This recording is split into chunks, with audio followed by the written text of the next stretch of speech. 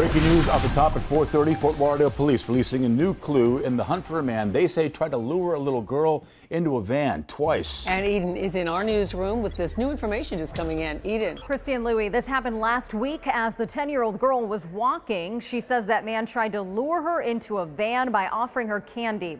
Police just releasing this flyer saying he used a black cargo van similar to the one pictured here with a sliding door and no window. Detectives say it's possible the van is older with heavy rust spots towards the bottom and possible damage to the rear light and or rear door.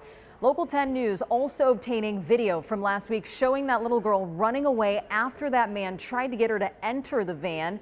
Fort Lauderdale police also releasing video of the suspect they're looking for, a tall man with short brown hair. He was wearing black pants and a black sweater.